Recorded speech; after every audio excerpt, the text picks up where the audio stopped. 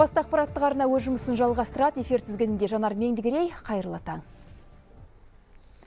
Құтқарушылар Түркістан облысында адасып кеткен үш туристі құтқарды. Олар бүргілік тауынан табылған 26-27 жастағы азаматтар. Сарыағаш ауданының тұрғындары олардың адасып кеткен туралы кеше сағат 12.00-де Түркістан облысы Төле би ауданының 101 қызметіне хабарлама түскен. Іле шала қаз авиаспас тікшағы іздеуге шығып сағат кешкі 5 жарымда адасқандарды іздеп тапқан. Кешкі сағат 17.55-те құтқарылған адамдар Шымкент қаласының әуежайына жеткізілді. Естеріңізге сала кетейік, осы Түркістан облысында бұған дейін жоғалған жеті адамның үшеуі табылған еді. Өкінішке қарай тағы екі туристің денесі жеткізілді. Қалған екеуі әлі іздестіріліп жатыр. Ал қазақ журналистикасының негізін қалаушы Мұхамеджан Сералин туған өрнек ауылы құрдымға кетіп барады. Кезінде тіршілік қайнап, атағы дүркіреген елді мекенде қазір 20 шақты үй түтініп отыр. Тұрғындардың жаппай көшуіне ұялы байланыспен жолдың жоқтығы. Ашынған жұрттың жан айқайына тілшіміз құлақ тұрды өрнек ауылы ресей шекарасында орналасқан небәрі екі көшесі бар оның бірі қазақтан шыққан тұңғыш кәсіби журналист мұхамеджан сералин атында бұл жаққа баратын адам алдымен күн райын аңдап алады. Себебі жаңбырлы күні жол ми батпақ болып межелі мекенге жету мұңға айналады. Одан қалды елді мекен байланыс аясынан тыс қалған. Өрнек ауылына ешбір көңіл бөлініп жатқан жоқ. Сералин бабамыздың басына келген кісілер ұялы байланыс жоқ жолда көлігі сынады тұрады. Оларға жаяу келіп ауылдан көмек сұрайды. Ауылдағылар осындай қиындықтар көріп жатады ауыл осы жаққа келген адамдар. Балаларымыз кетеді естіп жатқан малдар жоғалып жатады іздеп кетеді. Мал жоқ па балаларымыз жоқ па кейде ұзақ іздеп жүріп қалады. Сондайда алаңдаймыз. Ал қыстың күні вообще қиын. Ана жолда батып жатады. Ешқандай хабар жоқ.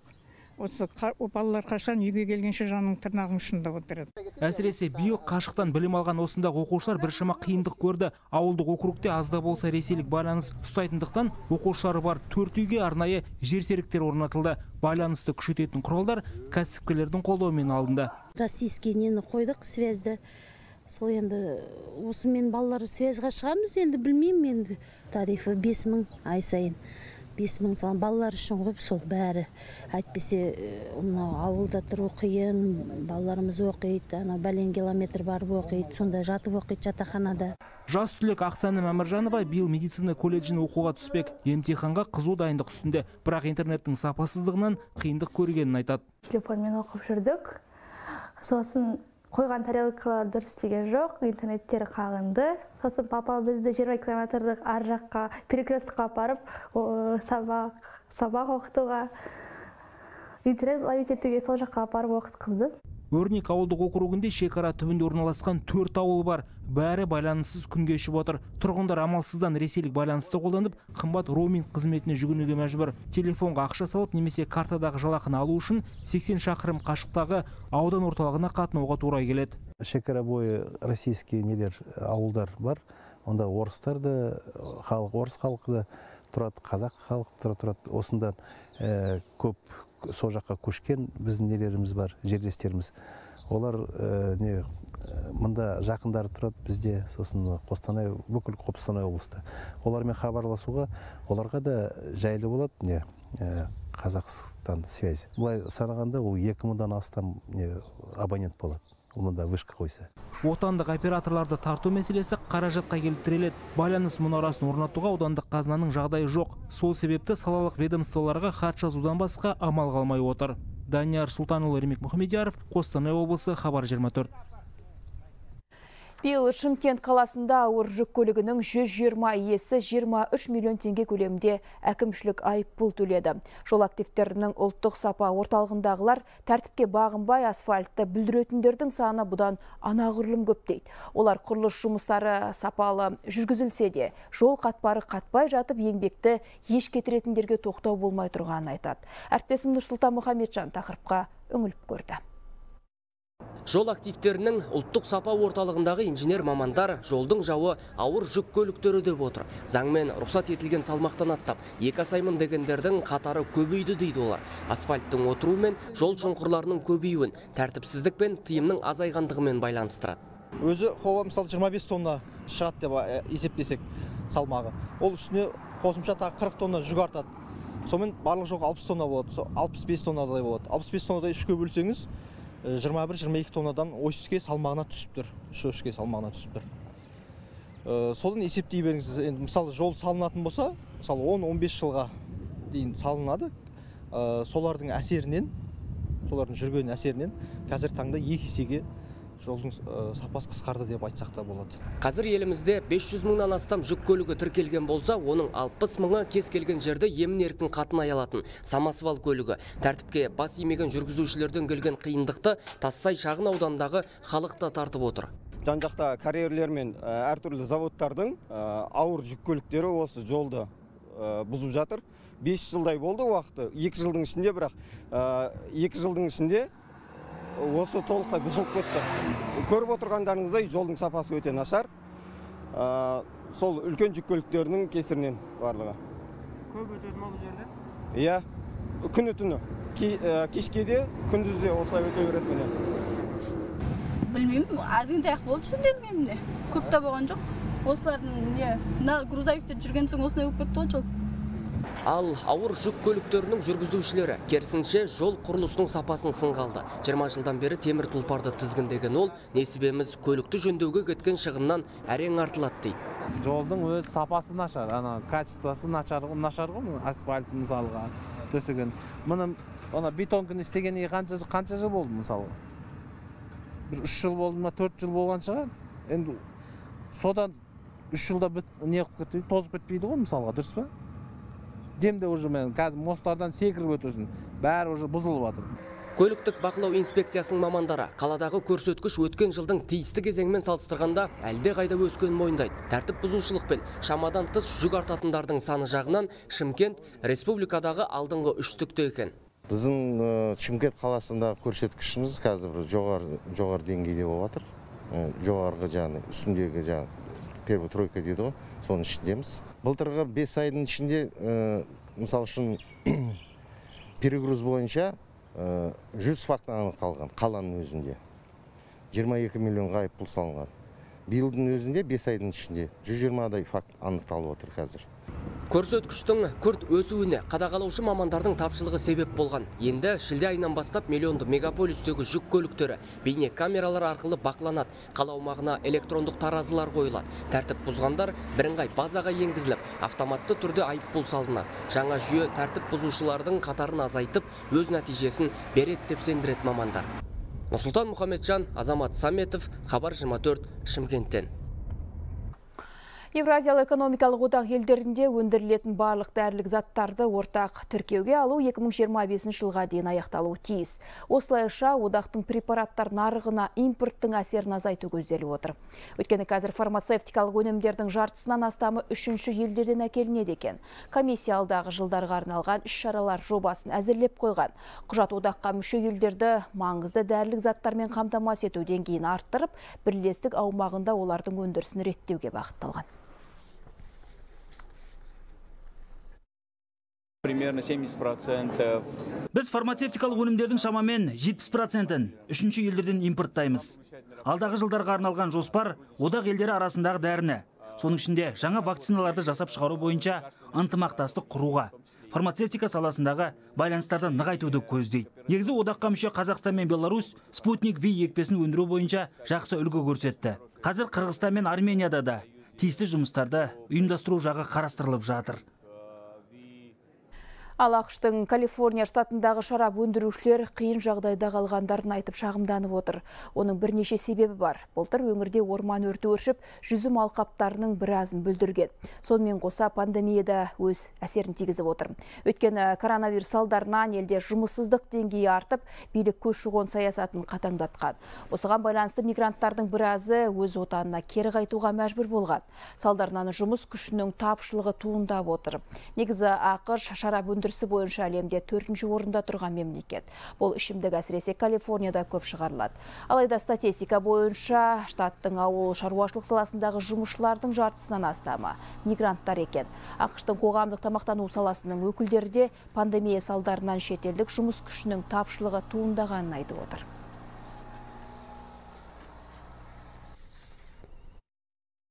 They faced many, many, many challenges, and now Қазір Калифорнияның шарап өндірушілері қиын кезеңді бастан кешіріп жатыр. Түйткілдер көбейіп кетті. Бір жағынан табиғат апаты болса, екінші жағынан пандемия бар. Соның салдарынан жұмыс күші жетіспей жатыр. Шамасы келетіндер өнімді арнайы техниканың көмегімен жинайды. Алайда кейбір жүзім алқабы ондай жұмыстарға арналмаған. Ұлыбританияда кейінгі уақытта үйлерін сатып, оның орнына қайғы алатындар көбейген. Сарапшылар мұны негізінен пандемиямен байланыстырып отыр. Өйткені шекаралар жабық болғасын, жұрт ел ішінде су көлігімен саяхаттауды жөн көреді. Қайықтағы үйді таңдайтындардың көбеюінің тағы бір себебі дәстүрлі баспананың қымбат болуы. Алайда пандемия кезінде су көліктеріне сұраныстың артуына байланысты. Қайықтардың да бағасы көтерілсе керек. Әсіресе биыл қыста клиенттер саны күрт көбейіп кетті сөйтіп қайық сатылымы екі есе артты Ал Қызылордада 50 жылдан бері жөндеу көрмеген үйлер бар. Соның бірі Шұғыла шағын ауданындағы 26 үй. Іргесі мүжіліп шатырының жақтаулары үгітілген. Жер төлесі суға толған көп пәтерлі үйге қоныстанған 100 отбасы шықпа жаным шықпамен күнелтіп келеді. Тұрғын үй қорын жаңғырту бағдарламасына әлде қашан өтініш беріп қойған тұрғындар жөндеу жұмыстарының басталуын күткелгі бірнеше жыл өтіпті. Тұрғындардың базынасын тілшіміз тыңдап қайтқан болатын.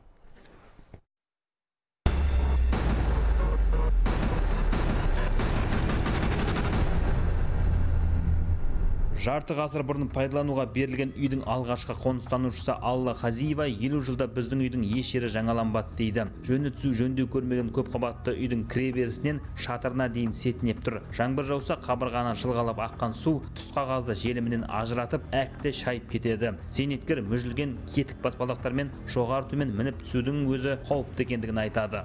Кирпичлері балаларның басына түсті өткенінде осы арада. Бар басыларына түсіп балдарының әр қойдырып балдар жинап алды мыналардан кирпичтерін балдар жинап жүр суларны балконыңыз қалай? Менің балкон жабылмаған мынау жерде тұр ана жабық балкон жанында. Балконның да мынау нелері сырттағы нелері бары түсіп тұр. Цементтары ол бір күні бір нықлай дем көрсе түсіп кетеді сол жақтан. Енді жетпіс екінші жылдан бері бір не? шықпайсыздар ғой. Шықпаймыз біз шығуға қорқасың. Шықпаймыз. кір жая алмаймыз. Мына жаққа түсіп жаю қиын бірінші этаждан. Бестен бірге дейін көтерілу бізге қиын. Көрпеше төсектерімізді күнге жая алмаймыз. Балконға шығайық десек қорқамыз. Төртінші этаждағылар балдар бар олар қорқады. Ашпаңыздаршы балкондарыңызды деп. Түсейін деп тұр. Түскен сайын сықыр сықыр сықыр вот так тастар түсіп жатыр. Енді біз не істейміз сонда бесінші этажда екі бөлме иә балконға қоятын затымыз қоя алмаймыз. Қорқамыз. Жауып тастадыңыздар жауып тастадық уже неше жыл болды мен шықпаймын вообще. Мына подвалым тым топсасы да жоқ нымы да жоқ. Мына балдар түсіп кетеді деп қорыққаннан сыммен байлап қойған мінекей мынау іші деген мынаның ішінде маса да бар бүрге қандала да бар өлген мысық иттер де бар мынаның ішінде. Жертөледен шығатын жағымсыз иістен аулада отыратын да мүмкіндік жоқ. Тұрғындар жергілікті әкімдікке бірнеше рет мәселелерін жеткізген. Жаңғырту бағдарламасына қатысу үшін түгел қол қойып берген. Тиісті сала мамандары шұғыла шағын ауданындағы 26 үйді күрделі жөндеу үшін 91 миллион теңге қажет деп жоба сметалық құжаттарын әзірлеп арнайы комиссияға өткізеді. Бұған шейін құжаттарын бәрін рәсімдеп қойдық. Ендігі кезекте қаражат бюджетті қайта нақтылауға қайта ұсынып көреміз. Қаражат келсе әрі қарай бағдарлама бойынша мердігер дайындайды әрі қарай техникалық қадағалаушыны таңдайды. Өздерінің пәтерлерін жаңағы кондоминиум объектісін басқару органы бар қызылорда тазалығы. Солармен бірге шарттар жасайды ғой әрі қарай. Жалпы қызылорда қаласындағы 800-ден астам көпқабатты тұрғын үйдің 134-ті жаңғырту бағдарламасымен жөндеуден өткізілді. Ал биылға 22 үйді қайта жаңалауға ұсыным берілген. Бірақ республикалық бюджеттен тек жартысына ғана қаржы бөлініп 11-і кейінге асырылыпты. Соның ішінде осы кескіні қорқынышты шұғыла 26 үйде бар.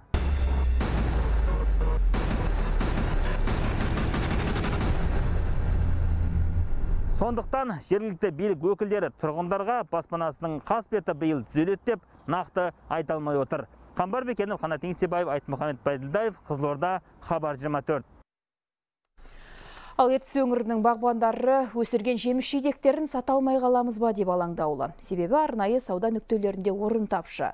Ал жабдықталған орындарға алып сатарлар жайғасып алған дейді олар. Бағбандардың мұң мұқтажын тілшіміз Ақмарал Есімханова тыңдап қайтты.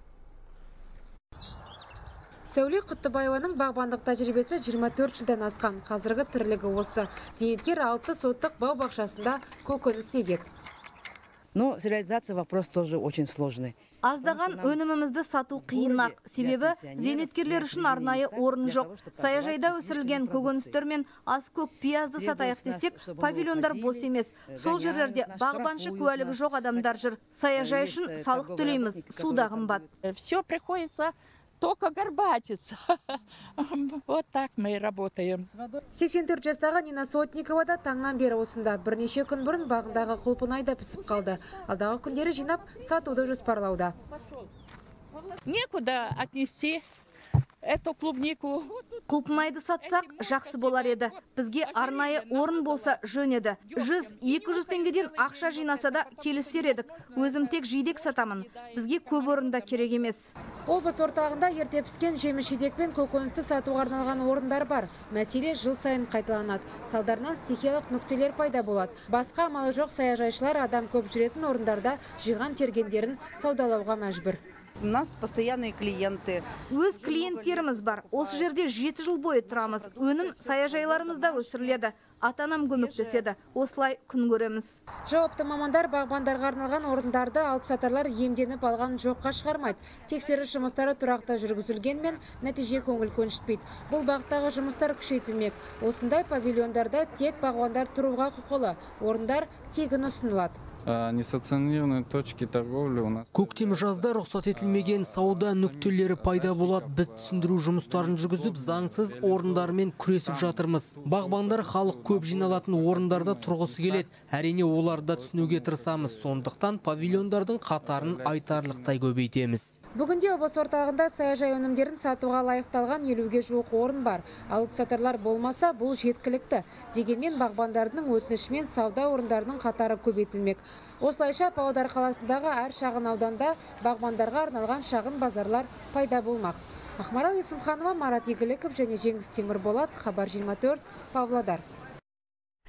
Будапештегі дзюдодан әлем чемпионатында Ғұсман Қырғызбаев күміс жүлдегер атанды. 60 келі санатында өнер көрсеткен ол финалдық бәсекеде ресейлік Яга Абуладзеге есе жіберді. Жерлесіміздің қарсыласы әдегенен ширақ қимылдады.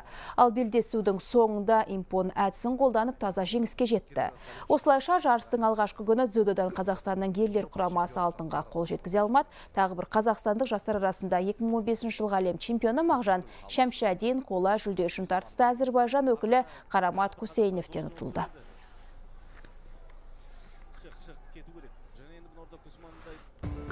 Әзірге айтарымыз осы арнамыздан алыстамаңыздар, жаңалық күтіңіздер.